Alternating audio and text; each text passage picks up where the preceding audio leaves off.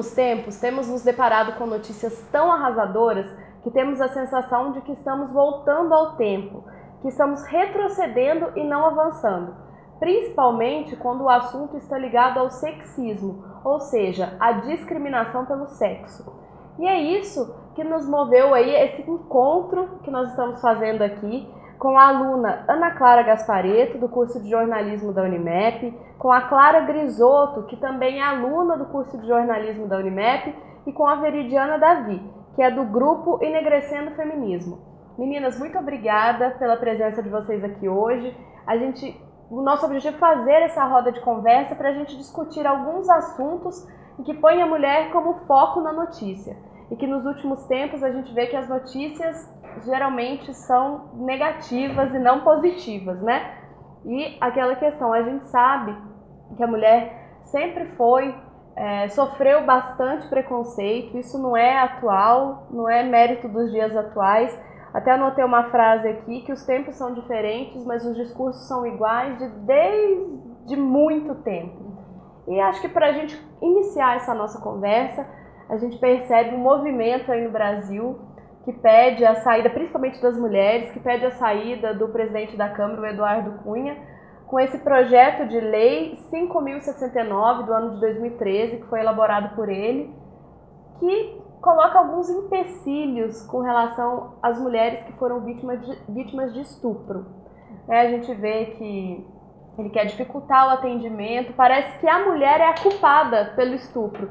Queria saber como vocês veem essa questão. Eu percebo que assim, a situação é uma dificuldade.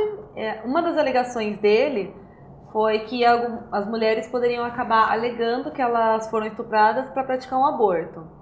Primeiro que eu acho que o, o Cunha e no geral uma coisa, o aborto é um tema muito tabu, é um tema que praticamente a gente não conversa sobre e quando conversa geralmente é para recriminar, é para apontar dedo na cara, mas abortos acontecem no Brasil, acontecem no mundo inteiro, sendo legal ou não.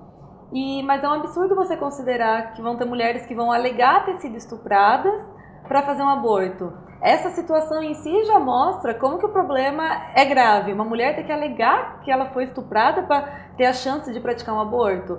Eu não acho que isso aconteceria. Se acontecer, também não acho que seria tão em larga escala, porque o aborto é uma prática muito invasiva, uma prática que mexe com o psicológico, mexe com o, fí mexe com o físico. Então, a gente vê como que é rasa o, rasa o pensamento dele sobre como se fosse assim, hoje, hoje acordei depois de uma transa que não deu certo, ah, vou fazer um estupro, vou fazer um aborto, desculpa. ah, vou fazer um aborto, como se fosse assim, tão simples, é, é absurdo. Como se fosse um assalto, como se, ai, nossa, esqueci de tomar pílula, esqueci de usar camisinha, tudo bem, vou praticar um aborto. Não é assim que funciona. E as vítimas de estupro já se sentem tão envergonhadas, muitas vezes nem denunciam. Como elas iriam a um posto de saúde, por exemplo, ah, fui estuprada, vim agora realizar um aborto? Não tem nexo, né? Uhum. Porque tanto se bate na tecla de que as mulheres têm que praticar denúncia, que muitas não conseguem por vergonha mesmo, não dá para entender, né? Uhum. São, é completamente oposto e ainda por cima os profissionais da área de saúde. Tem a questão da pílula do dia seguinte, que não vai poder ser distribuída mais. Ou seja, não dá para entender qual é a pretensão desse projeto de lei, né? Eles estão tratando a pílula do dia seguinte como se fosse um método abortivo, que não é. A pílula do dia seguinte é método de prevenção, como a camisinha, como a pílula. Então, tipo, ninguém transa no dia e no outro dia tá grávida, sabe? Então, eu acho que tem que ver isso, que eles estão tratando completamente errado essa questão. E a questão de, de ter que provar o, o estupro é muito absurdo, tipo, é uma humilhação a mais para a mulher. Porque muitas vezes você chega numa delegacia para fazer um BO, as poucas que conseguem, e ela é ainda mais humilhada, sabe? Tipo, ela vai ser culpabilizada. Vão perguntar por que, você estava andando nessa rua escura à noite, sabe? Por que, você estava usando essa roupa essa hora? É muito absurdo, é uma humilhação a mais fora o ato do assédio. O próprio conceito do estupro é muito complexo, né? Porque estupro não necessariamente é ah, eu é, alguém, algum desconhecido me agarrou, me estuprou no matagal Não, pode ter sido algum desconhecido que, sei lá, me agarrou à força, me beijou à força, ou simplesmente colocou a mão na minha calça, obrigou a fazer alguma coisa com ele. É muito complexo, não é necessariamente só o ato consumado em si com a penetração. Envolve muita coisa e até isso já, já teve relatos de mulheres que assim é, sofreram estupro de, por exemplo, o homem só passar a mão nela, só passou a mão nela e a própria delegada falou: ah, mas então você não foi estuprada, né? Você só foi assim.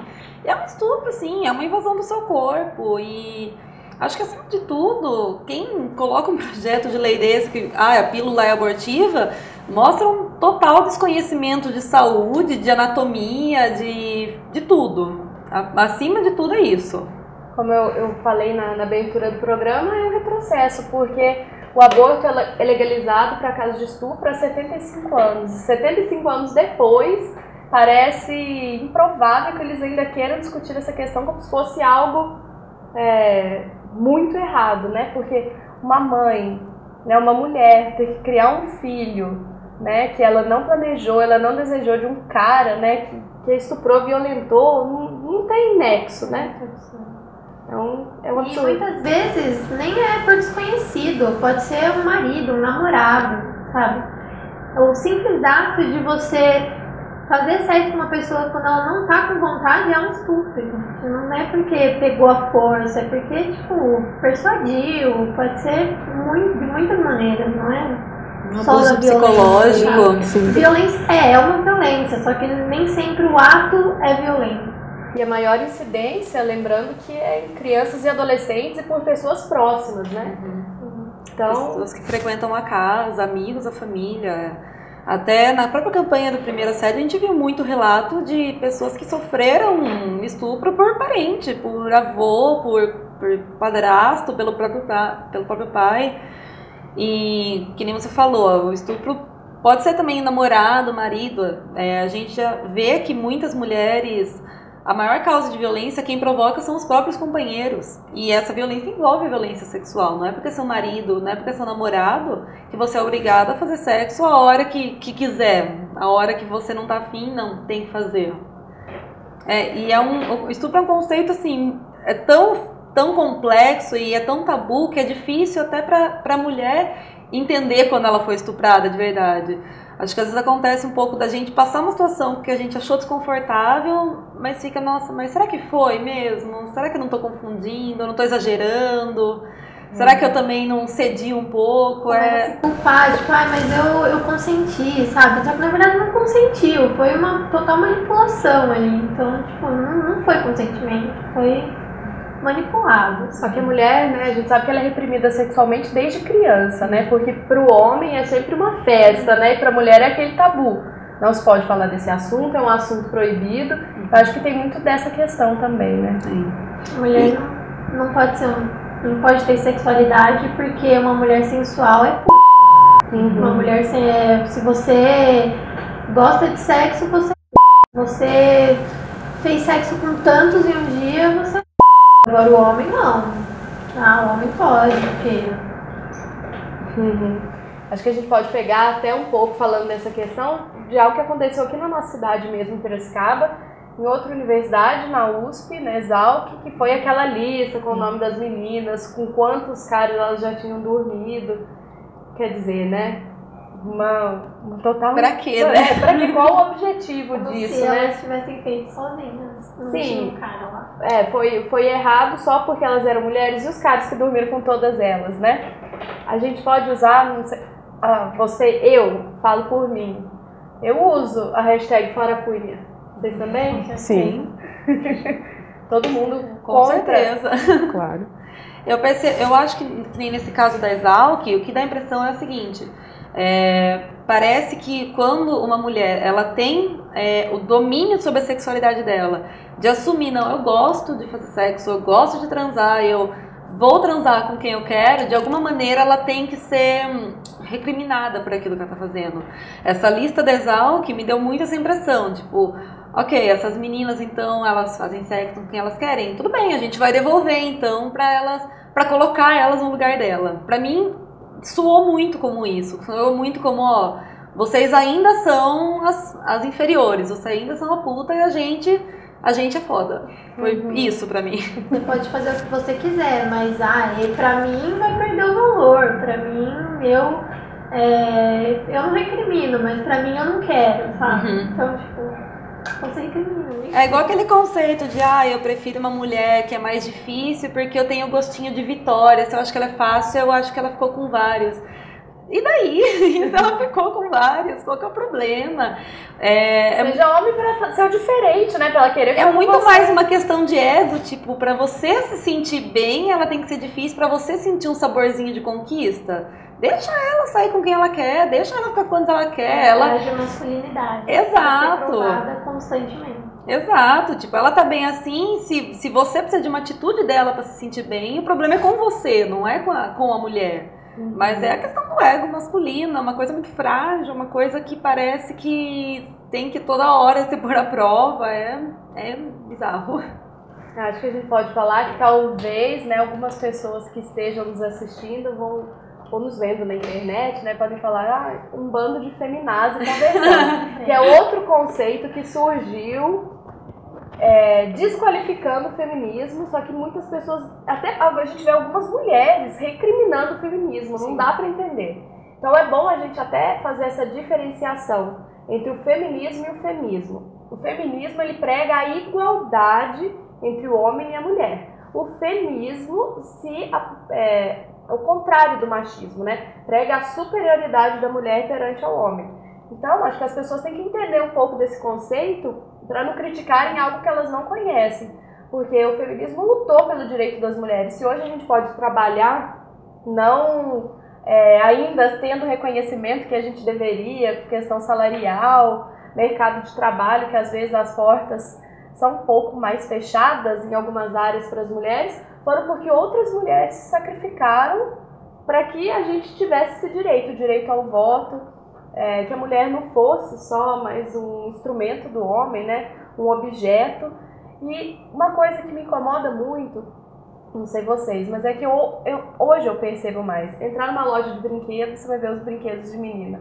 É geladeira, fogão, panela, você vai ter aquelas vassourinhas, né? A mulher foi criada para ser empregada, para ficar em casa, para ser do lar. Não que ela não possa ser isso também, mas agora, né, a mulher já é desde criança, assim, não, é isso que você vai ter que fazer. Você vai ter que cuidar da casa, cuidar do seu filho, cuidar do seu marido e acabou. É muito enraizado, tanto que tem aquela imagem muito compartilhada que fala, ironiza o fato de tipo, ah, você não gosta que seu filho brinque com boneca por quê? Você tem medo que ele se torne um pai?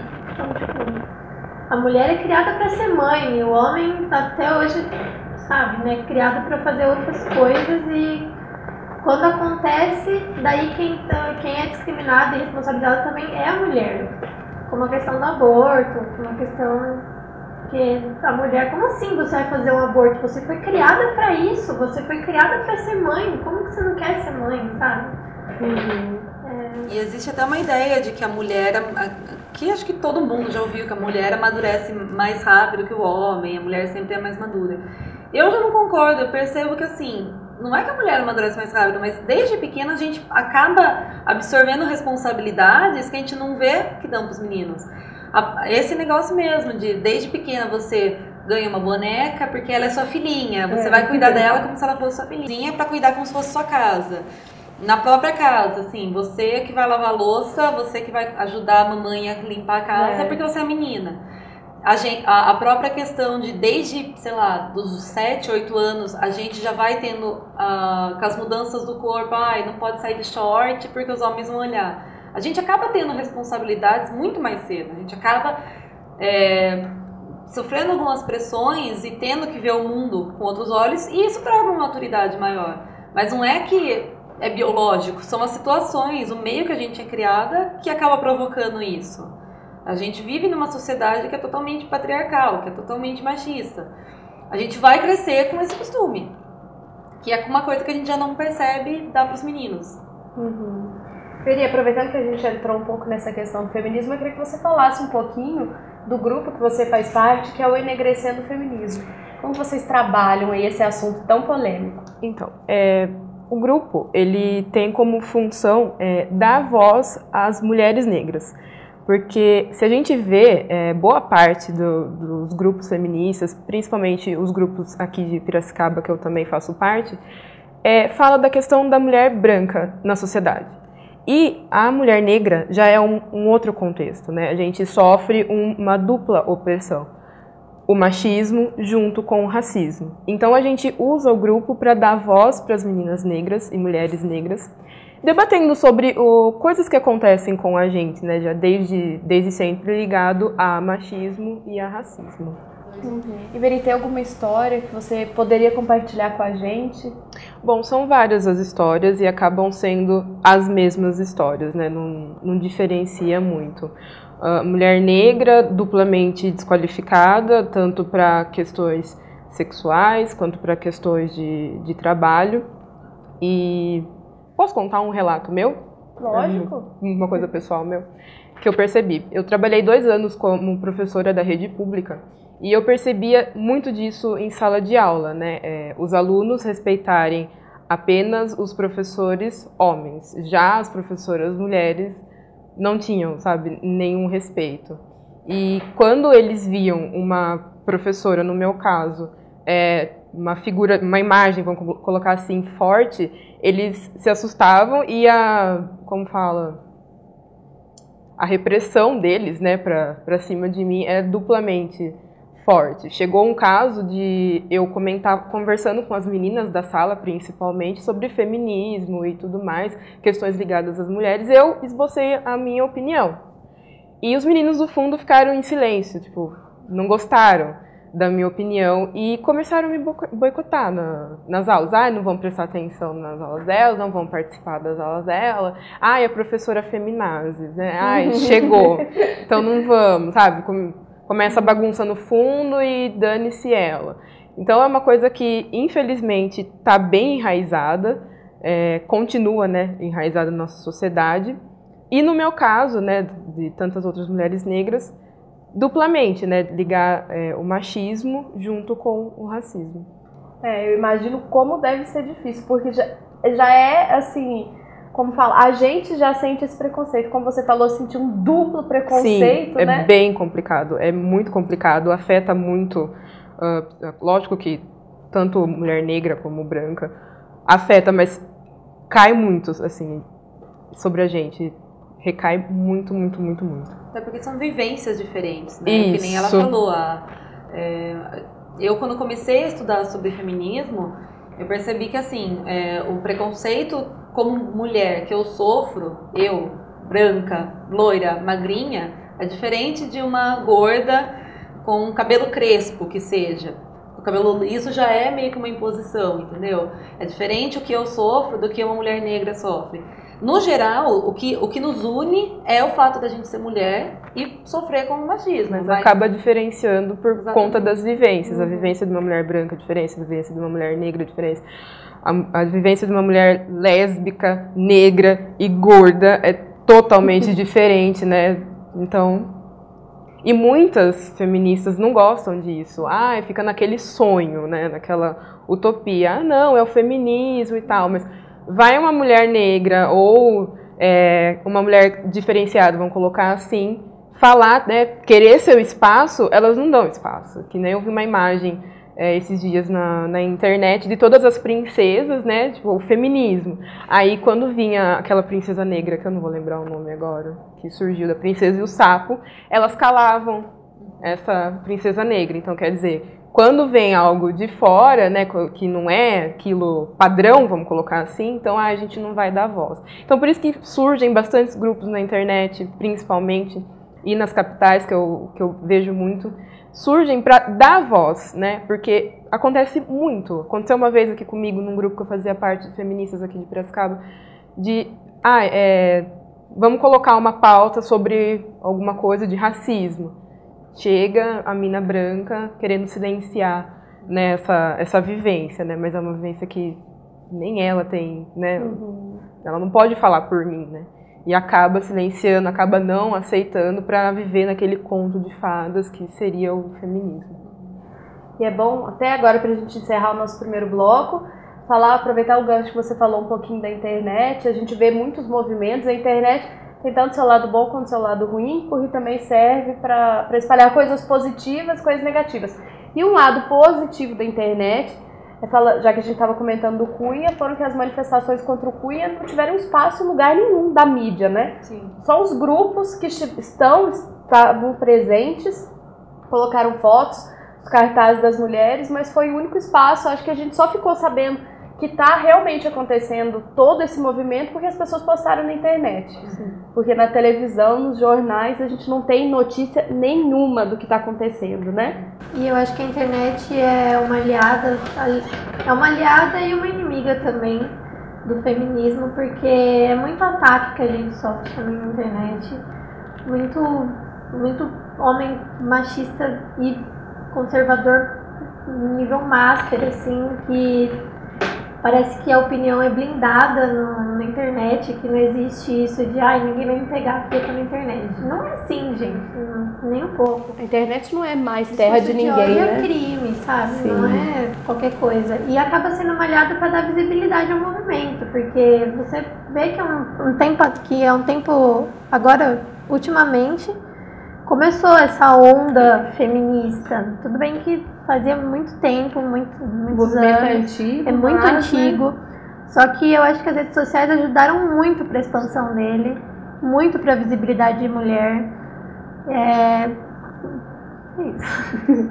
então nós vamos para um rápido intervalo e já voltamos com mais discussão aqui no nosso programa Hashtag. Até já!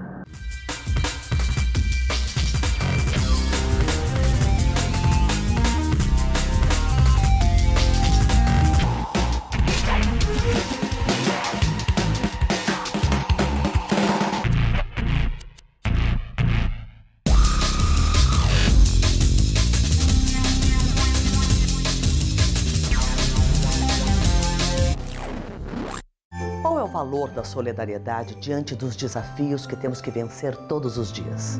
É simples. Só conseguimos ser felizes de verdade se todos nós vencermos juntos. Por isso, a campanha de Natal da LBV é o elo que liga você a milhares de histórias de gratidão. Neste Natal, o seu gesto de boa vontade é o melhor presente.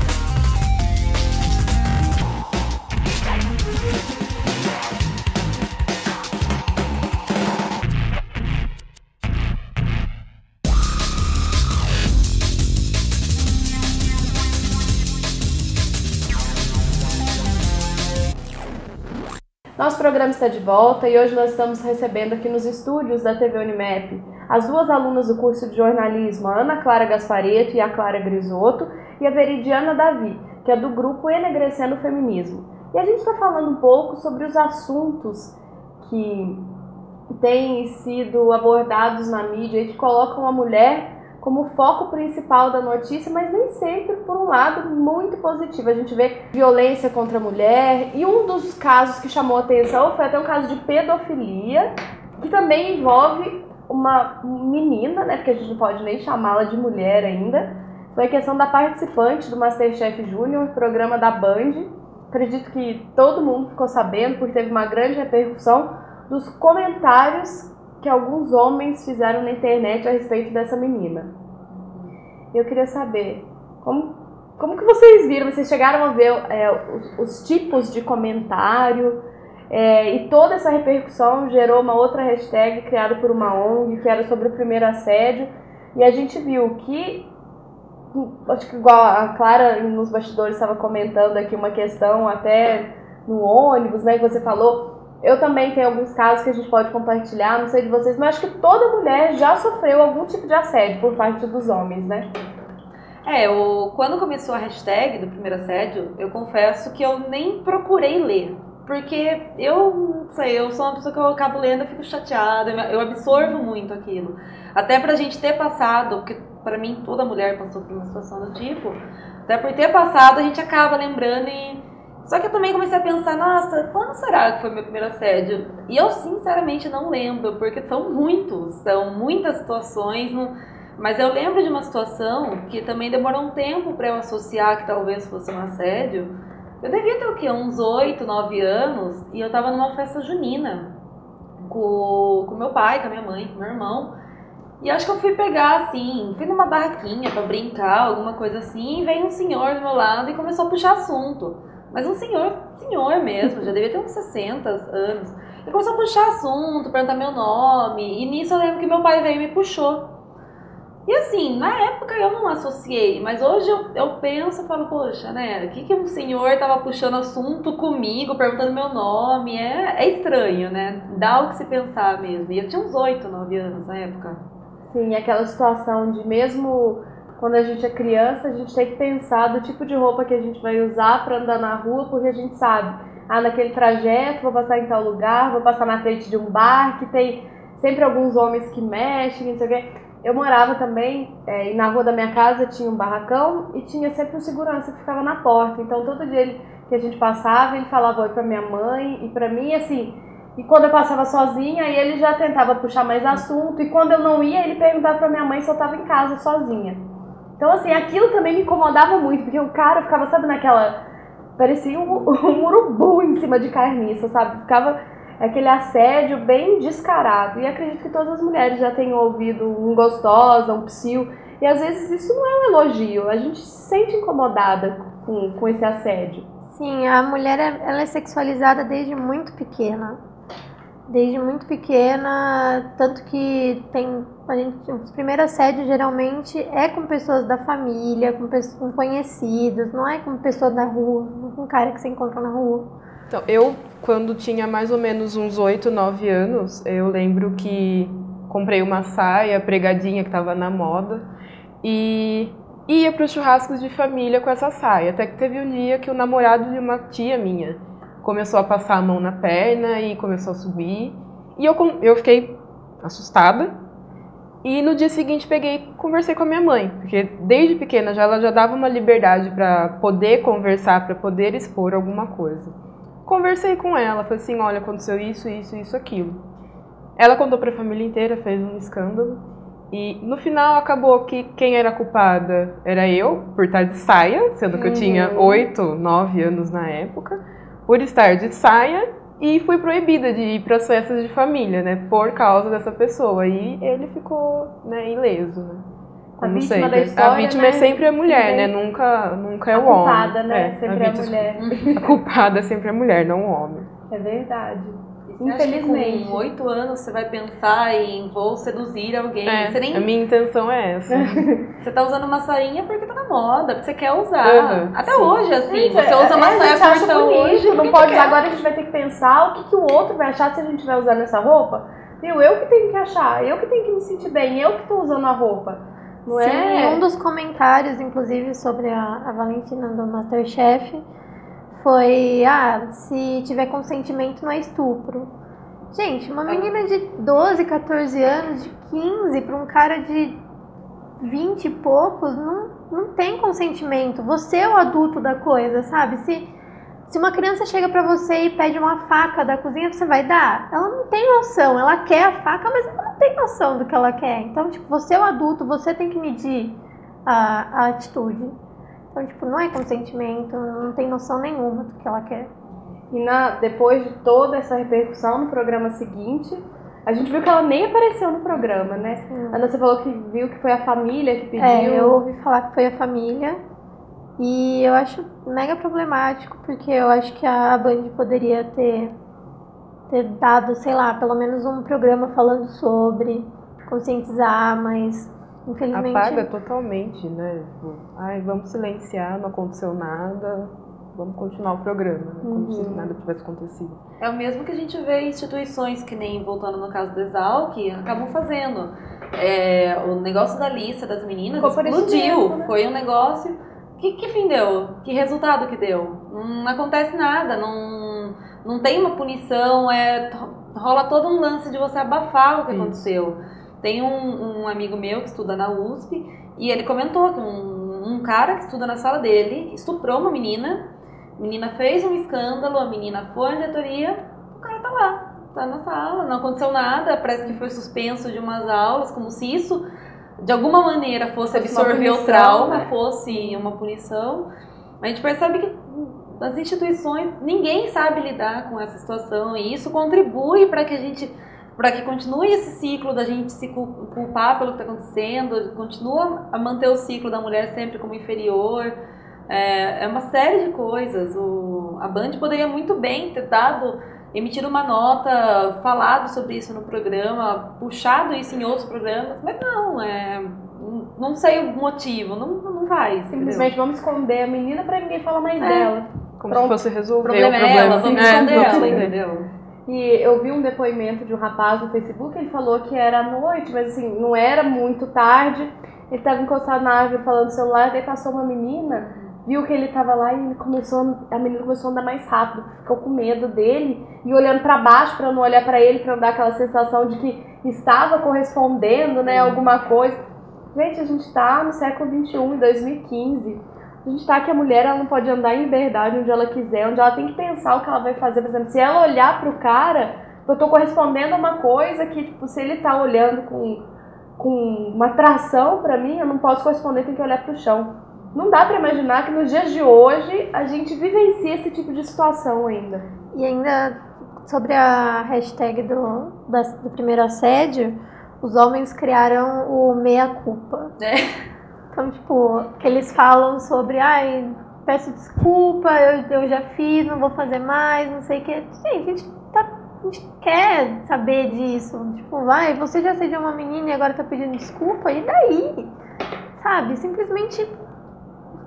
Boca. Tá ridicularizando. né? É, tipo, eles, eles querem. Parece que eles querem fazer aquilo sobre eles. Sabe? É uma coisa sobre a gente, eles querem fazer sobre eles mais uma vez. Então, tipo, eles têm que se, se meter no meio. não- É igual o feminista, né? Sim, homem que se mete o no... feminista. Até Quer porque eles estão É assim. feminista, né? Até porque assim, se você se sentiu tocado pela situação, se a carapuça serviu porque, nossa, realmente eu já fiz, você não precisa anunciar pro sete ventos, ai gente, tô me sentindo culpado. Muda suas atitudes, muito simples. Quem tá praticando do seu círculo de amigos, seu, sua família, vai, fala que tá errado. Agora é isso, ai, meia culpa, não, gente, desculpa. A gente não quer desculpa, a gente quer mudança, a gente quer que vocês mudem a atitude de vocês. Pedir desculpa e fazer amanhã de novo não adianta nada. E o feminista é aquele cara que, ah, eu super apoio o Eu movimento. Eu, adorei acho que mulher, feminista. mulher tem que ser empoderada mesmo, mulher tem que, ser, tem que ter igualdade. Mas na hora Só que a que- mulher vai falar, eu tô falando. Não, Dá tio, licença. você não sabe falar sobre feminismo, eu sei. É, eu sou. E na hora que tá na rodinha dos amigos, quando o amigo é machista, não, não corrige. É. Não, na, na rodinha dos amigos esquece que é feminista. E que eu É aí que ele devia é, utilizar, né? Já que, infelizmente, a nossa sociedade é tão assim, né? Machista, patri- patriarcal. Usa esse poder de fala que dão pro homem, né? E vai lá, corrige o coleguinha do lado, né? Já que você não escuta uma mulher feminista do seu lado, usa, né? Esse dom que te deram, É, né? a mulher não é feminista, é a feminazi. É a feminazi, é, a feminazi. feminazi, então. Já que a feminazi tá louca aí, É. dando piti, né? Escuta o coleguinha. Mas... o mais contraditório é que todo homem tem uma mulher na vida dele. Gente, a mãe dele. Se não tem a mãe, tem a avó. E por que essa falta de respeito com a mulher, né? Sabe, não, não entra na minha cabeça. Porque, gente, podia ser a sua irmã, sua mãe, sua tia. Eu tenho certeza que alguma delas já vivenciou esse tipo de situação. E mesmo assim, eu não mudo minha postura. Engraçado, né? Complicado. O que nem você falou, né, agora, tipo, já que te deram esse poder de fala, tem uma coisa que, nossa, eu fico irritadíssima, é a gente, mulher, a gente fica batendo na tecla Sim. aqui, ó, tal coisa, tal coisa, ai, tá bom, tá, ó, beleza. Já aconteceu comigo. Aí acontece, o cara vai e fala, nossa, que legal, olha como ele apoia as mulheres, olha como ele é Inclusive gente dentro do boa. movimento, né? Ai, eu vejo muita menina compartilhando texto de feminista. Ai, que lindo! Nossa, ele apoia, que homem maravilhoso. Só que é uma coisa que mulher fala diariamente, gente. Por que, que você compartilha Que não é que o de cara novo, falou? é. Sim, por que você compartilha que o cara falou? Vai dar biscoito pro cara pra quê? É. E Clara, queria até que você falasse um pouquinho. A Clara está se formando esse ano no curso de jornalismo e o trabalho é, de conclusão de curso dela é a respeito do sexismo mais no mundo do futebol. Isso, a gente fez um trabalho, quando eu estava no segundo ano da faculdade, a gente, é, eu li um texto sobre cobertura sexista, sobre jornalismo sexista, e me interessei muito, achei muito bacana, e achei muito pouco material sobre isso, porque como eu me interessei, eu comecei a procurar pesquisas, trabalhos, e achei muito pouco. Eu lembro até que quando eu li, falava sobre casos assim, de cobertura jornalística, por exemplo, usando o caso daquela dançarina que foi assassinada pelo namorado. A imprensa sempre cobre como, ah, ela foi, ele matou por ciúmes, ele matou porque ele amava muito ela, ele não aguentou perder. Ah, ela traiu ele. De alguma maneira, de alguma É. maneira a imprensa tenta assim, olha, tadinho do homem, ele estava Ele apaixonado tava sofrendo, e ela, né? e poxa, coitada, ela largou ele. Então foi sobre isso que, que eu pesquisei e achei muito interessante. Eu decidi que eu queria fazer o TCC sobre isso e quando eu cheguei no momento de escolher, que eu, de eu filtrar a cobertura, eu achei legal falar sobre a cobertura esportiva.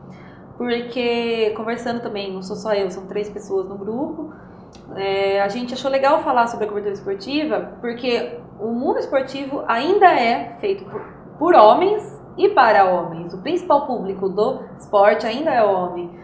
E se a cobertura esportiva continua machista, continua sexista, e ela está sendo transmitida para homens, isso também de alguma maneira está ajudando a manter aquela ideia de mulher no seu lugar. Porque ela não, não tá fazendo a sua parte, entendeu? A gente achou que seria legal mostrar esse lado. Então a gente fez uma análise das matérias do Globo Esporte, do ESPN do Terra, dos portais esportivos, sobre o, as matérias que a, gente, que a gente contabilizava mulheres e como que as mulheres estavam sendo retratadas. E foi bem impressionante, porque a gente pegou quase 5 mil matérias, só 4% tinham mulheres, que deram 209 matérias com mulheres, e assim, muitas eram. Às vezes a matéria até falava alguma coisa, tipo, ah, a atleta X ganhou tal, tal, tal coisa, mas no final falava a gata de 1,70m, loira e com É corpo pra dar risada, né? A gente ri pra E não você vê chorar, até né? no- nos programas, tipo, se tem uma mulher, é aquela que ela tá lá pra, pra entretenimento, Exato. não pra. É aquela gostosona tal, e na hora de falar sobre o esporte ela não fala, ela só tá lá pra, entretenimento do homem. Pra fazer o meio campo, né? É. Ou se não era assim, por exemplo, ela falava da carreira dela no final, ah, ela não tem planos pra ser mãe, mas já está com namora há três meses, não sei, coisa que a gente não via na cobertura com homem. E inclusive assim, numa conversa que a gente teve como, como grupo ontem, né, os quatro integrantes se reuniram, que a gente está em fase de finalizar o TCC, a gente falou sobre isso, que a gente estando por dentro do assunto, estando dentro da pesquisa, a, a gente percebe que nós temos isso também. É, quando a gente estava escrevendo o roteiro, às vezes a gente ia falar, por exemplo, da, da Ronda, a gente parecia que ia no automático falar loira de corpo escultural, porque é um negócio que está na gente, é um vício do jornalismo.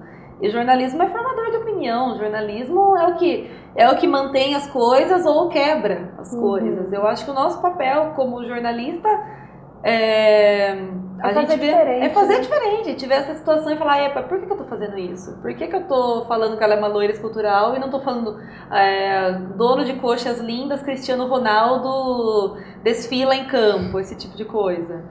Então, a gente quis fazer trabalho sobre isso, para mostrar que ó, existe essa visão também e não é legal, não, não, não tá fazendo bem. Aproveita que você falou um pouquinho da Honda, até não sei se eu vou fugir do assunto, mas eu não aguento mais ver notícia dela na internet falando do uso do lubrificante. Não sei se você viu uma entrevista que ela deu falando que homem que usa lubrificante é porque é preguiçoso. Você vai sair em todos os portais, tipo, faz mais de um mês que já tem essa notícia, toda hora ela pipoca de novo. Falo, gente, será que ela deu essa entrevista mesmo? Em que contexto Em ela deu essa contexto. entrevista? Porque, gente, só falam isso dela, assim. Ninguém fala mais da, da, da Honda como atleta de MMA. Não, ela só tem aparecido porque ela tava namorando o Ciclano, que ela terminou, que daí depois que ela tava com o Flávio Canto, que é o judoca brasileiro, e agora ela falou essa questão do lubrificante.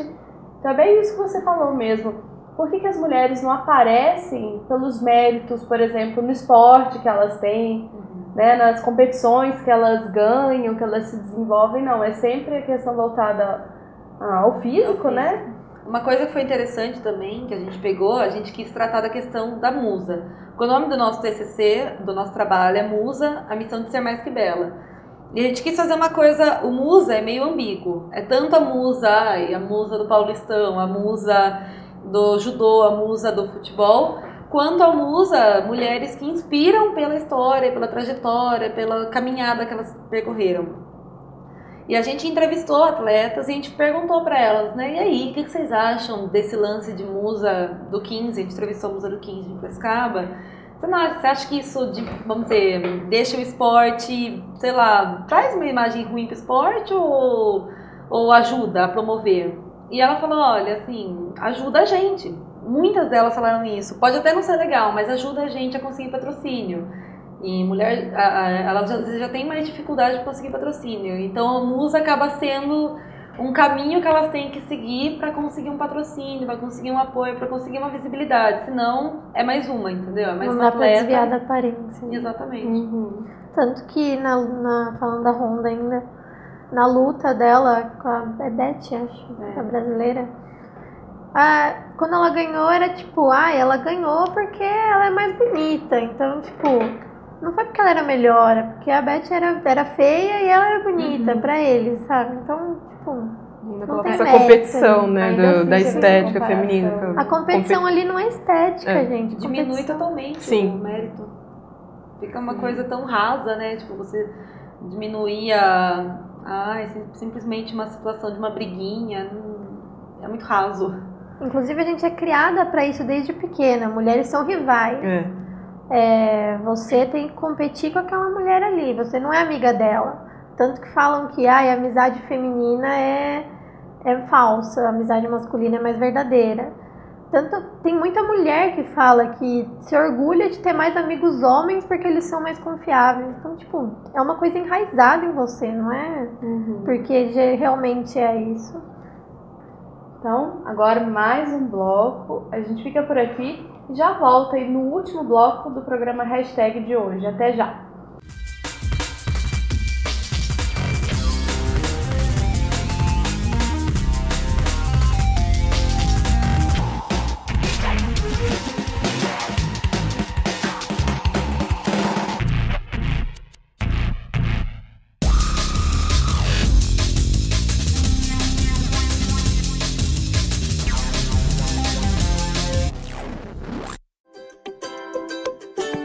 Vem aí, a 15ª Mostra Jaguatirica, dia 30 de novembro, às 7h30 da noite. Produtos audiovisuais em um só lugar. Não perca, no Teatro do Campus Taquaral, aqui na Unimep. Fala moçada, aqui é a banda Dona Zaira, estamos aqui na TV Unimap também. E a gente quer desejar para todo mundo um Feliz Natal e um ano novo cheio de coisa boa. 2016 vai ser lindo, muita felicidade, muito som para todo mundo. E vamos que vamos, que o som não pode parar. Tamo juntão! Uh!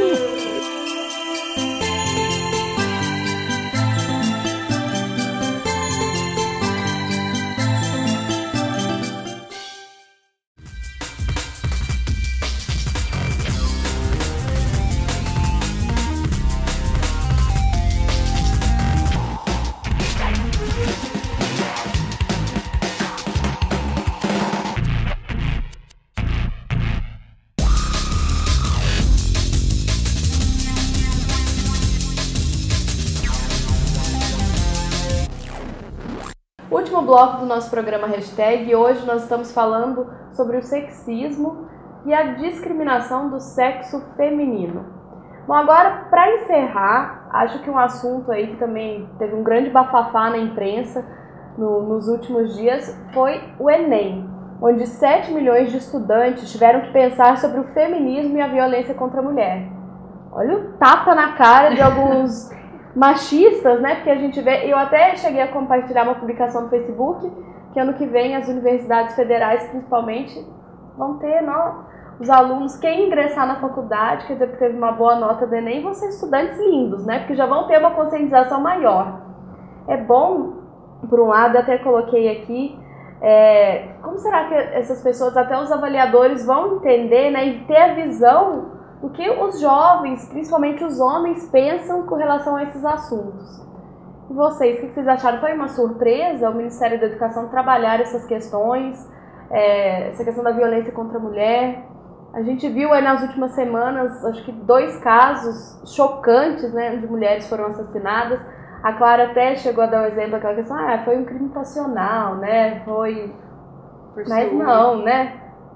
É, É sempre ninguém tem passional. direito, né, de tirar a vida de outra pessoa. É sempre passional a história, nunca é porque o homem acha que tem poder sobre a mulher.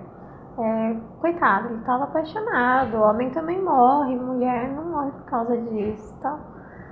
E na questão do Enem, eu acho que foi. Acho que não pode não ter sido uma surpresa, porque acho que é um assunto que está bem alta. Colocaram como o que você acha sobre a violência da mulher. Eles afirmaram que ela existe. Afirmaram com números, com dados, não tinha o que contestar ali. Tá ali, existe. E tem, eu vi muita gente falando, ai, porque o Enem é feminista, o Enem é, é de esquerda. Gente, quando violência da mulher é um assunto de feminista e esquerda só, a gente tem um problema aí. Então, tipo, quem é de direita e os homens não, não tem noção nenhuma sobre o assunto. Não existe no mundo deles esse assunto.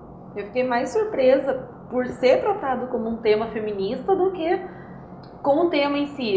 Porque foi isso que você falou. A partir do momento que você reduz o assunto da violência contra a mulher, que tem provas contra i- que apontam isso, tem dados, tem a própria delegacia da mulher que foi criada para isso.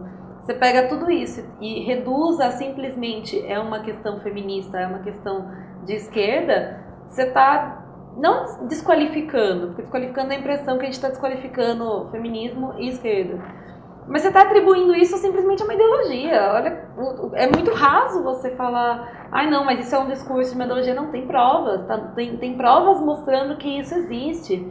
E pra mim, essa questão de, ah, é feminista, você tá tentando tapar o sol com a peneira e fingir que isso não existe. A gente viu muitos homens, ah, mas também tem violência contra o homem. tem, mas é diferente. A mul... Nesse caso, a violência contra a mulher, a mulher tá sofrendo a violência por ela ser mulher.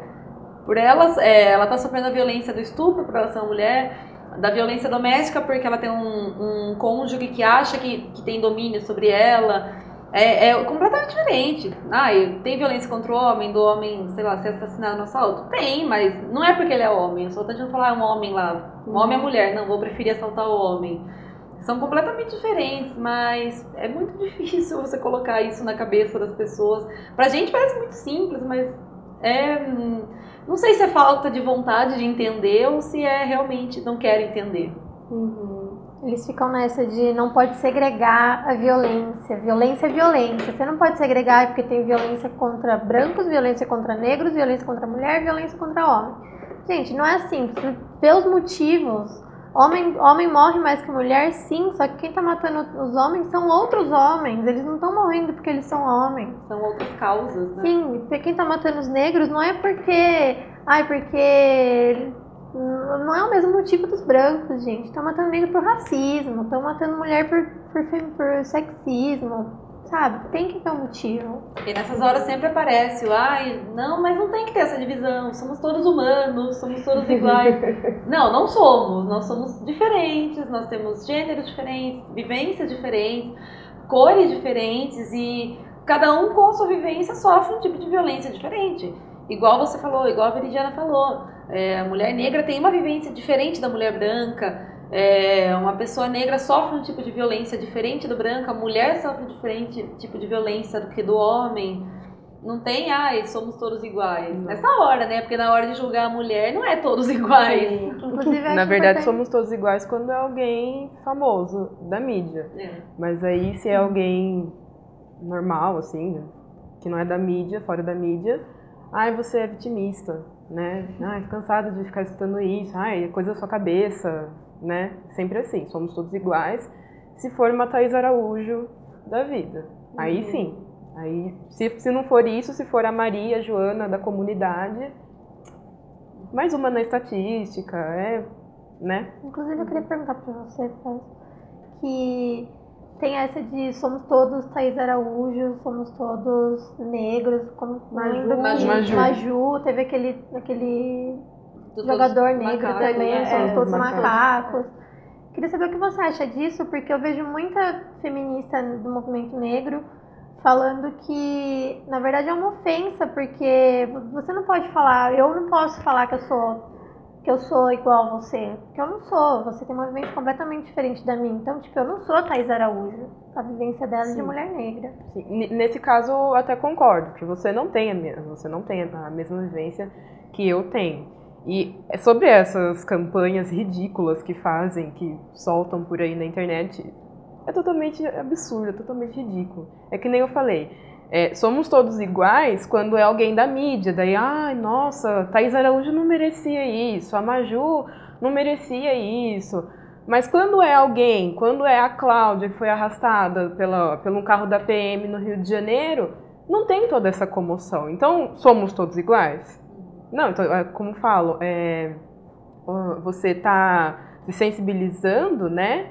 É, não segregando o que fala. Seletiva. É uma seletiva, você faz uma coisa seletiva, né? Quando é alguém da mídia, quando é alguém padrão, vamos colocar assim, porque Thaís Araújo é um- uma mulher negra padrão, né? Já a Cláudia, da- que era da comunidade que foi arrastada, não se compara a Thaís Araújo. E não teve toda essa comoção, certo? Então, é, essas campanhas, é totalmente ridículo. Perde, acaba até perdendo o foco da coisa, porque a gente denuncia racismo, a gente denuncia preconceito todo santo dia. Tem, todo dia tem um caso de uma mulher, tem um caso de algum gay negro, né, que sofre alguma coisa. A gente tá lá falando, né, debatendo isso, aquilo, todo santo dia. Aí chega um caso desse, pra gente não é novidade. Pra gente não é novidade. Né? Ah, a Fátima Bernardes coloca todo dia no programa dela, né, um, dia na semana ela reserva o programa para falar sobre uma, uma pauta de racismo. Para mim, para outras meninas, para outras pessoas, para a comunidade negra, para o movimento negro, não é novidade. Né? Então, então não adianta vir, ah, somos todos isso, somos tudo aquilo. Para a gente não é novidade. Né? E é uma coisa que não resolve. Thaís Araújo é, já tem 70 pessoas cadastradas que estão sendo investigadas. A Cláudia, até hoje, não vi se teve punição. O mais triste dessa sua fala é você falar não é novidade, né? Não Assim, é novidade. É duro você falar, é uma coisa rotineira que a gente já tá cansado de ver porque acontece todo dia, Sim. né? É isso que é pior ainda, né? Igual eu falo, o que eu tenho mais raiva é saber que a gente se acha tão evoluído, a gente tá no século XXI, 2015, Não é, não é. e a gente tá debatendo questões tão antigas ainda, né? São Então, será que. Daí eu me pergunto, será então que a gente evoluiu? Sim. Será mesmo seja que a uma gente coisa mais de evoluiu? aparências, né? É. De que evoluiu, de fingir Sim. que tá, que tá tudo bem, que todo mundo se adora, até dar uma pressionada. A gente tá mais retrocedendo do que avançando. Mas às vezes eu acho né? que também essa a culpa, vamos colocar assim, desse retrocesso, é que a galera não pega. é, vamos ver, vamos pegar um livro de história bom, né? Sem ser essa história oficial que apresentam pra gente no ensino médio, na- nas escolas da vida. Vamos pegar e ler um pouco, né? Porque falta isso, né? A gente sabe do que a mulher sofre, a gente sabe do que o negro sofre, mas a, a galera não quer ler, né? Não vai lá atrás. Vamos parar um pouco e ler, né? Para ver o que, que realmente aconteceu, para ver o que, que realmente acontece, né? A galera não faz isso e é isso que me deixa um pouco irritada, porque não, não vai buscar uma fonte, Uhum. né? Pega, ah, a primeira coisa do Wikipedia, pega e joga num debate. Não é bem assim. Você tem que saber. Ou o- pega o que viu na televisão, né? É. Como se a televisão fosse algo totalmente imparcial. Pega um senso comum e, Sim. e o carrega. é, chuva, né? E Tipo, carrega eternamente aquilo. tira o cavalo da chuva, tipo. Ai, porque as cotas são absurdas. Não, não tem que ter cota porque eu não sou racista. Por que, que eu, que não sou racista, tenho que dar espaço pro negro, sabe? Não fui eu que escravizei. Gente, É igual não- você falando. Eu tenho amigo, é aquela questão, eu sou racista, eu tenho amigo Eu tenho negro. amigo, eu namorei uma É, amiga. é, é até questão. Minha mãe é negra, imagina. É até questão do- dos gays, mudando um pouco o foco. Imagina, eu não, não sou homofóbica, eu tenho amigos gays. Porque quando, a- tipo, quando começa com essa frase, a gente já. Até respeito. Voltando no que ela falou de, das cotas e ai, não é que a pessoa tira o cavalinho da chuva, foi o caso da menina do, da USP de São Paulo, que começaram a, as, as velhas pichações da USP, né, da maravilhosa USP, é, xingamentos racistas contra ela. E ela parou uma aula, não lembro de, de que curso era, ela parou uma aula, na, a maioria das pessoas da sala eram brancas, e ela fez um discurso lindo. E no final ela falou, não sei se vocês acompanharam, ela falou que vocês os devem até a alma. Vocês brancos os devem até a alma. E o que choveu de gente falando que, ai, eu não tenho nada de ver com isso, eu não sou racista, eu não tô devendo nada para ninguém, tipo, desqualificando totalmente a fala da menina, o discurso da menina, né? Caramba, né? Mais uma vez, a pessoa não vai, não volta lá atrás para dar uma lida, para entender melhor o que ela acabou de falar. E não, ah, não, eu não, não sou racista, eu não tenho nada de ver com isso, eu não tô devendo nada para ninguém. E eu acho que falta, assim, também empatia. Porque Sim. Eu já fui contra as cotas. Eu já falei, não sou racista, minha melhor amiga é negra. Eu já fui também de falar esse tipo de coisa. Acho que todo mundo tem seus momentos, porque a gente cresce com isso, é um negócio que tá na gente. Mas a questão assim, de você começar a procurar vivências diferentes. Foi uma amiga minha que, que eu adoro muito, que tem um carinho gigantesco, a gente, a mim faz um tempo, que começou a me, no caso, ela é negra, ela que começou a me dar essa outra visão de falar, olha, não é bem assim, no que funciona. Foi a partir dela contar as coisas, eu ver a vivência dela que eu comecei a, a parar para pensar e ver, é, realmente, eu nunca passei por isso, é eu não posso opinar sobre uma coisa que eu nunca passei. Então eu acho que falta empatia também. Também. Porque, ah, não devo nada para você, não sou racista, não sou machista. Mas me ouça, entendeu? É, tudo bem, você pode não ter escravizado alguém, você pode não ter assediado uma mulher, mas ouça o que essas pessoas têm para falar para você saber o que, que você pode fazer para ajudar, ao invés de simplesmente falar, ai, não, não tem nada a ver com isso, tchau, sai. O principal respeite, né? É principal, Sim, respeite. É. E não é até respeito, inclusive tem amigos que são. Não, respeita. Aí sim é um uhum. ser humano, você tem que respeitar porque é um ser humano. Na essência, você tem que respeitar porque é uma pessoa, entendeu?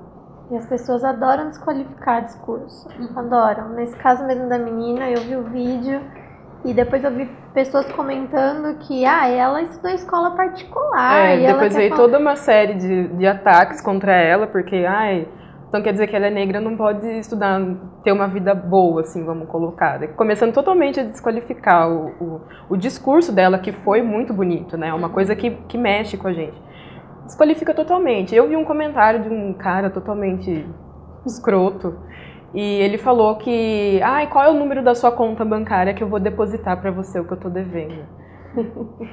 né? É. A gente né? precisa né, sem essa, é. né? cala a boca, né? É, fica quieto. É. E eles adoram dar exemplos, tipo, ai, porque eu tenho um vizinho negro que ele é executivo, que ele é advogado. Gente, exceções. Olha o Joaquim Esse... Barbosa, ele chegou é, onde ele chegou. O Barack Obama. Obama. A Oprah, olha, a Nossa. gente é presidente negro. Como você pode falar de racismo? Mas é que aí que entra a questão, né? A vivência da, da pessoa. Não é, não é a vivência dele, vai ser igual a minha não é? Não foi também. Tenho certeza que não, não começou do alto, né? Nesse caso. É, todo, é a questão da vivência, né? Que você fala. Então, vou deixar agora uma reflexão para vocês que estão nos acompanhando. Segundo dados, uma em cada cinco mulheres do mundo serão vítimas de violência sexual. E aqui no estúdio temos nós quatro e a Isa que está ali fazendo a parte de produção. Então, quer dizer, né? Já fica aí um pensamento para vocês e como a toda a nossa conversa aqui, pesquisem sobre o assunto antes de tirarem qualquer conclusão precipitada, principalmente no que se refere às mulheres, ao feminismo. Vamos estudar para conhecer mais sobre o que é esse movimento antes de criticá-lo. Meninas, eu gostaria de agradecer muito a presença de vocês aqui hoje. Foi ótimo bater esse papo, né? A gente não pode falar que foi uma entrevista, foi um bate-papo mesmo que a gente pôde expor a nossa opinião, falar sobre esse assunto, compartilhar um pouco, porque afinal não é fácil ser mulher, né? Um pouco.